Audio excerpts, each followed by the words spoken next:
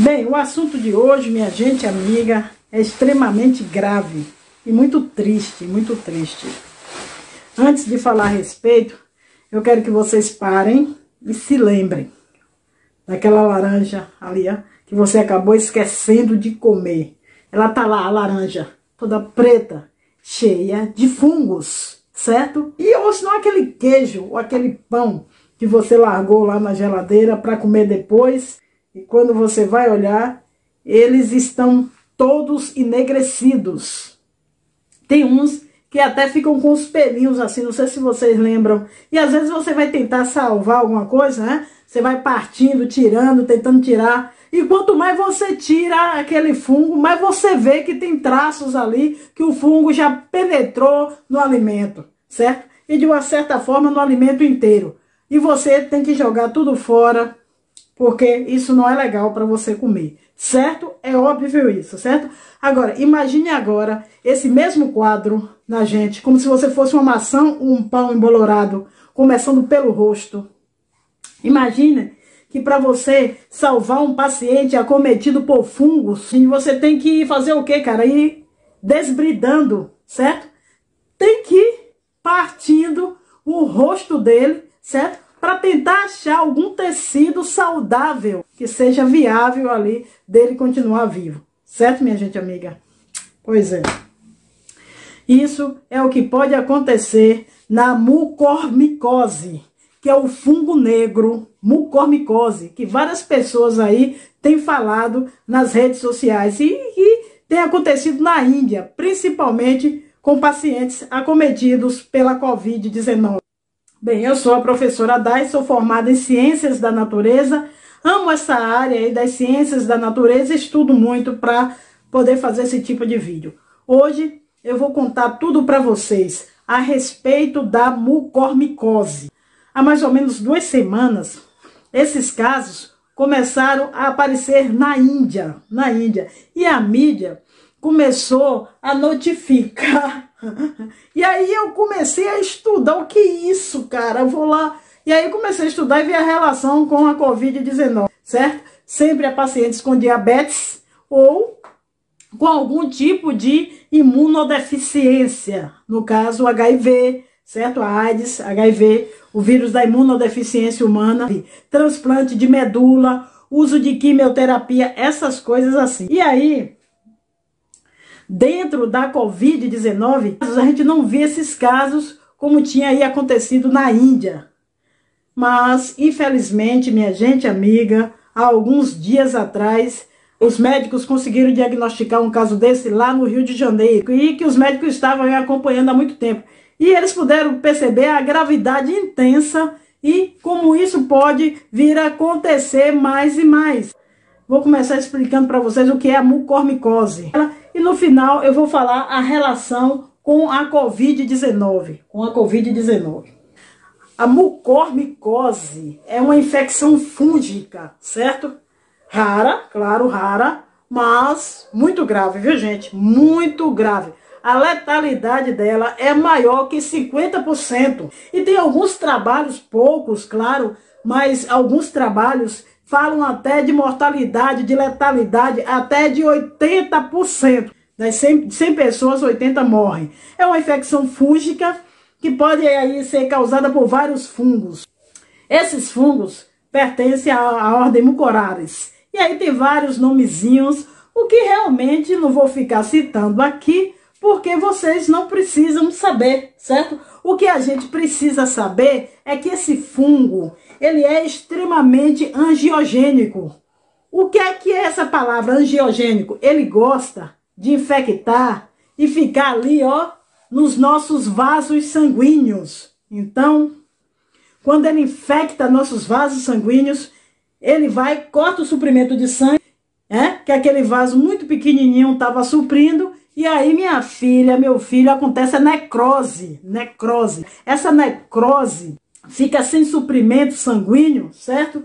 E quando a gente dá o remédio, o antifúngico, ele não consegue chegar ali, certo? Então, para começar, a tratar essa doença, a gente tem que fazer um desbridamento cirúrgico, que é o quê? Você tem que tirar todo aquele material necrótico, certo? Às vezes você vai tirando, tirando e novas áreas vão aparecendo. Tem que levar várias vezes o paciente para o centro cirúrgico para poder sofrer vários desbridamentos até que você consiga chegar àquele tecido sã, né? Sem o fungo e aí você dá o remédio, dá o antifúngico para ele conseguir, é, digamos assim, aproveitar algum restinho que ainda esteja ali, certo?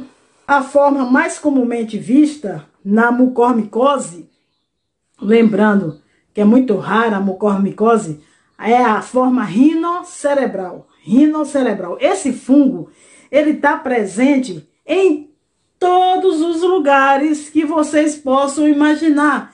Ele não é um fungo raro, ele não é um fungo difícil. Ele está presente no solo, nas fezes dos animais, na grama, no ambiente. A gente entra em contato o tempo todo com esse fungo. Então, tá na nossa pele, né? A gente vai lá tomar banho, lava, certo? Aí vai embora aí. Ou senão, a gente inala esse fungo. Só que a nossa imunidade, quando está muito boa, a gente inala e aí as nossas células de defesa, que se chamam macrófagos, eles vão lá e não deixam esse fungo é, causar, digamos assim, nenhuma doença na gente, certo? E fora isso, são fungos, eles são muito sensíveis. Então, quando eles entram no nosso organismo, né, que é mais quentinho, ele morre, ele morre. Não é que todo mundo está infectado com esse fungo, não é isso. O, o que você precisa realmente é estar tá com sua imunidade ruim para poder ele poder para ele lhe atacar. Só que quando isso acontece, quando isso acontece, ele vai entrar no seu organismo mais frequentemente pelo nariz. E por isso que a forma rino, rino cerebral, certo? Porque o nariz Tá bem pertinho ali do cérebro, ó. Rino cerebral. Então, quando ele entra, ele vai causando sinusite, ele vai entrando aí na, na mucosa, na mucosa nasal. O fungo vai pegando essa parte aqui, a mucosa. Ele pode chegar até o osso da órbita, pode subindo, subindo, até chegar lá no cérebro. Então, são casos muito graves que às vezes os sintomas iniciais são assim muito pouquinhos, não é isso? E a gente acha que é uma sinusite. E aí ele vai evoluindo, vai evoluindo, vai evoluindo, porque o organismo sozinho né, não consegue resolver o problema. Antes do Covid aparecer, a gente via esses casos principalmente em pacientes diabéticos que não controlavam a sua glicose adequadamente, não controlava a glicose. Isso acontece quando a sua glicose está muito alta, muito alta. Aí isso causa um desbalanço inteiro no seu organismo, certo? E é tudo que o fungo quer. O, o meio celular, como se fosse seu organismo, fica mais ácido, que é o que o fungo gosta, e cheio de glicose, certo? Então isso é um prato cheio, é tudo que o fungo quer comida e um ambiente bom. Nos diabéticos grave ou em pacientes com imunidade muito ruim, né? Imunidade muito ruim. Eu conheço uma pessoa que teve diabetes, né? Ela fez, ela adquiriu essa forma rinocerebral, foi um quadro dramático. Eu fiquei sabendo, me mandaram fotos, tá bom? E pacientes também que fez transplante de medula, que toma quimioterapia, a imunidade está muito baixa, nesse caso, muito ruim, e aí geralmente tem algum problema na glicemia. O que é que aconteceu? Veio a Covid-19. Olha para aí. Qual é o principal tratamento dos pacientes que ficam muito graves? Qual é, minha gente? É o uso de corticoides. Dá em doses muito altas para poder melhorar. Então você melhora uma coisa, mas você não consegue digamos assim, ajustar essa glicemia. Então, um dos efeitos colaterais muito importante do uso de corticoides, que fique bem claro, doses elevadas, é o aumento da glicemia. Geralmente você tem que dar outros remédios para poder deixar a glicemia estável. Se ela começa a subir demais, você está propiciando o fungo. Né? Vem fungo, né? que na verdade já podia estar tá na gente, aí você está dando um, um meio muito bom. Outra coisa, uma infecção grave, você fica acidótico, tudo ali propiciando, é claro, o aparecimento e o desenvolvimento desses fungos, certo?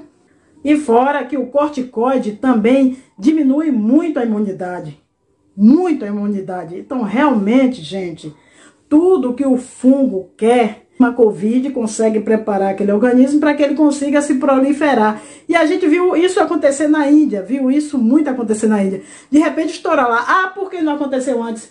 Oh, porque não tinha tanto paciente assim, né, grave, como essa segunda onda, certo? Que a gente está tendo aí conhecimento.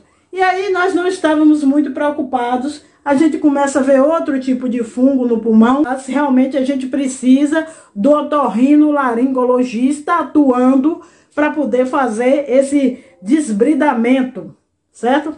No caso do, da Índia, muita gente teve que tirar o globo ocular, pedaço do osso aqui embaixo, ó. Gente, é muito grave, muito grave.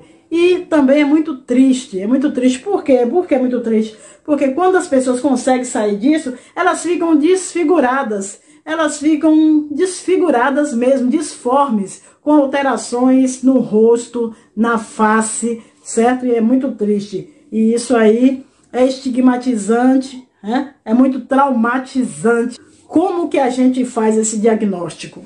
Vendo o fungo, você faz uma biópsia, né? Ou então você já tem que fazer esse desbridamento, você tira aquela parte toda acometida e manda para um laboratório, só que o fungo, ele é um fungo muito frágil, muito frágil. Às vezes, se você não prepara adequadamente o material, se você macera um pouquinho a mais, o fungo morre e aí você não consegue, é, obviamente, esse diagnóstico, certo?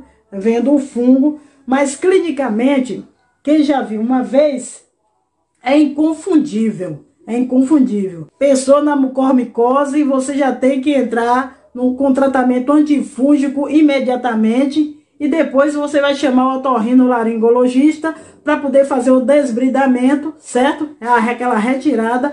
Ou você pode fazer exames de imagem, que é a tomografia, a ressonância, mas às vezes o paciente com Covid está tão grave que ele não consegue nem ir lá na tomografia né? Para poder fazer o exame. Então, quando a gente pensa, tem aquela lesão enegrecida lá, é muito parecido com aquele fungo que tem no pão. Não é o mesmo fungo, não. Não é o mesmo fungo, não. Mas é, o aspecto é parecido. O aspecto é muito parecido, certo? E assim, gente, é, é muito impactante quando você vê isso. É muito impactante. O tratamento. O tratamento é basicamente o que eu falei é o desbridamento cirúrgico, aquela retirada, junto com os antifúngicos. Esses antifúngicos são extremamente caros, certo? Extremamente caros. Você tem que fazer por muito e muitos meses, porque as lesões elas vão melhorando, mas às vezes você tem que ir para o centro cirúrgico de novo, você tem que continuar dando aí esses antifúngicos, a maioria deles é na veia, Hoje em dia existe tratamento até mais novos por via oral, mas isso só quando o paciente já está muito melhor, certo? Já está muito melhor, o que não é a maioria aí dos casos, certo, minha gente? E o que é que você tem que fazer para não ter esse tipo de fungos? Presta atenção.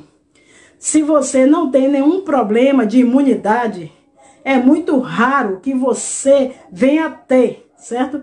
Mas pensando antes, se você pegou Covid e ficou grave, se você está na UTI com esse tipo de tratamento de corticoides, tem que ver a glicose direitinho para não ter essa infecção fúngica. Cuidado agora, viu? Cuidado com uma coisa que eu vou dizer. Muita gente fazendo é, parte de um tratamento precoce, certo? Nessa história toda, dando corticoide para as pessoas no D1, D2, né? início do sintoma, o que é D1?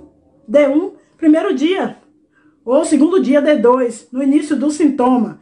A gente sabe que o corticoide, na fase inflamatória, né? Porque até lá pelo sétimo dia, quando você faz esse tratamento, no começo da doença, você está diminuindo a imunidade com corticoide. E às vezes você está propiciando que o vírus fique ativo mais tempo. Há uma dose baixa de corticoide, mas se o paciente é diabético, ele pode descompensar. Então, muito cuidado com essa história do corticoide. Porque às vezes as pessoas acham ah, que não, corticoide não tem problema, não. Tem sim ele abaixa a imunidade, os corticoides, ele aumenta a glicemia, certo? Aumenta a glicemia e realmente é uma bomba para o organismo. Né? Quando necessário, é muito bom, quando necessário, mas tomar à toa e ainda tomar numa fase que você precisa da sua imunidade ativa é realmente um erro bizarro. Bem, era isso que eu tinha para falar, certo? Tchau, gente. Saúde e paz para todo mundo.